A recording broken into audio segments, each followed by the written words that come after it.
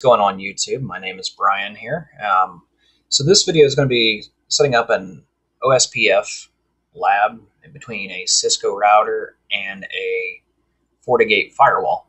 Um, if you're not familiar with OSPF, it's one of the routing protocols. It's an open standard. It's used a lot out in production. Um, if, if you need to look it up, feel free to, this is Wikipedia's link on it.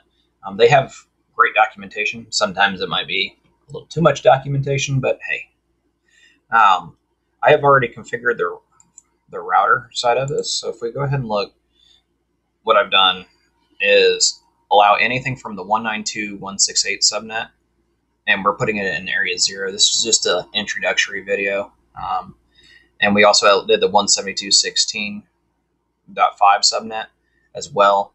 Put in it all in area zero. We're not doing the multi areas yet. Um, this is in a production environment, you would want to restrict it down typically to what subnet you want. You don't want to just have just a broad stroke like this in a lab environment. It's it's fine to do. Um, this is more of the configuration on the FortiGate side, other than just knowing on how this is currently set up. Um,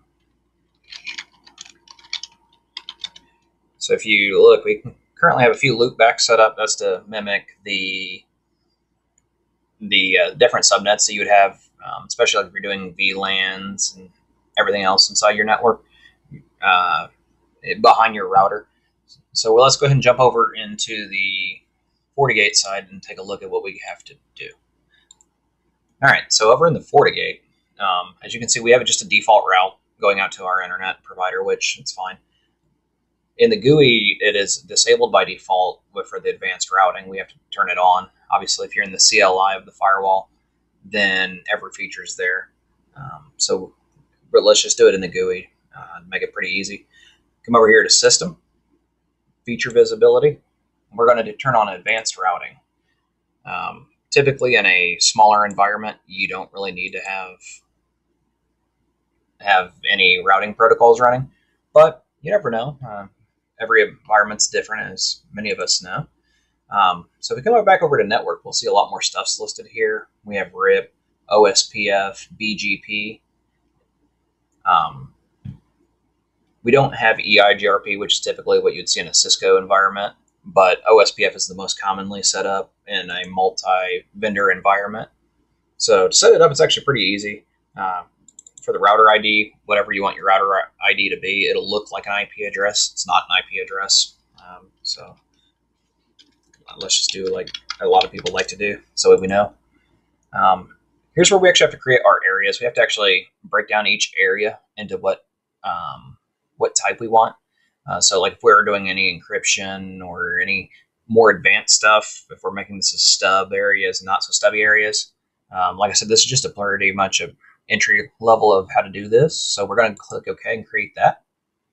Then we're going to come down here to network and create our network first we have to come down and go, okay, well, this is area zero because it's all zeros. We remember that.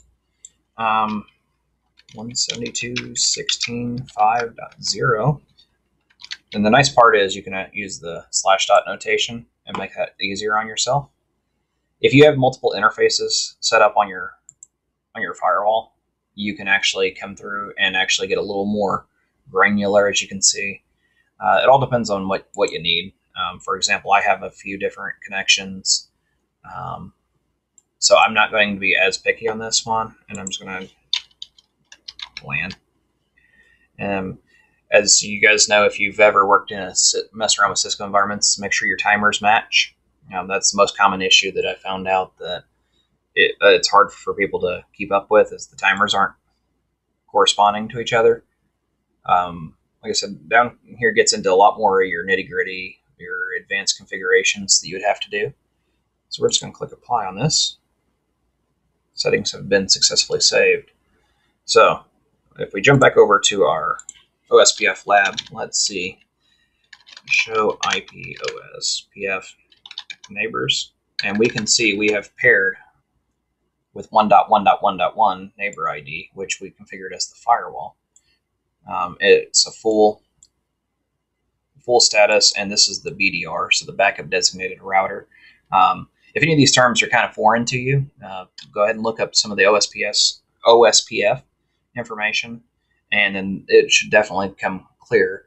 Uh, so if we come back over here, we can go look at the network tab now, routing. We can see all of these other sub, all these 192 subnets, and it's got, saying send it through this IP address through this LAN interface.